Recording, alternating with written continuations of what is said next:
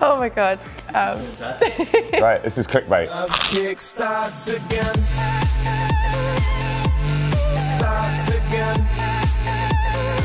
Hello, I'm Elliot, aka Example, aka the leader of the Rob Gray, uh, Rob Gray uh, fan club. He's a musician. I'm a musician. I'm Erin McNaught. Um, I am an ex everything. TV presenter, model, blah, she was blah, in blah, Neighbours with. Margot Robbie. I was, yeah. She won Miss Australia, I did Miss and, Australia. in and she worked at a zoo once. Yeah. Interesting fact. Interesting fact, yeah. Yeah, we've been married for ages, and we love buying amazing homes together.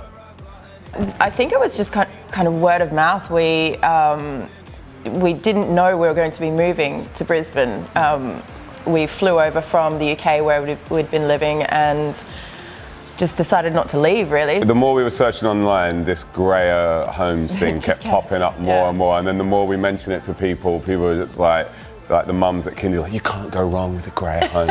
Just can't go wrong, Basically, yeah. So we were like, okay. No one was saying that about any other homes. So it kind of lured us in. I love the fact that you know when you walk in, it just opens up to this amazing big expanse. The house feels huge, and I mean it's it's on a pretty small block, but you would never know because every square inch of it has been utilised. Everything is so practical and so livable.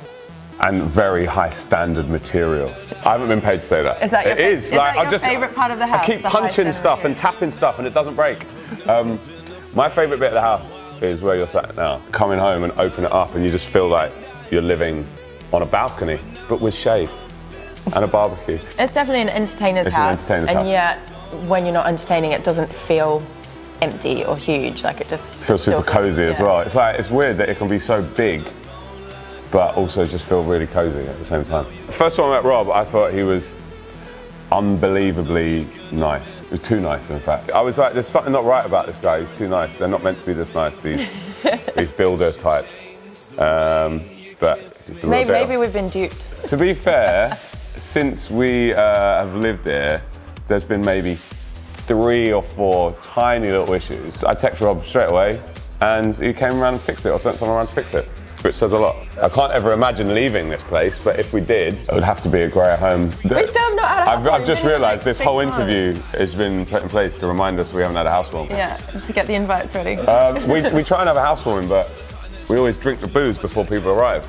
So um, as long as it's uh, BYO, we'll have a housewarming soon.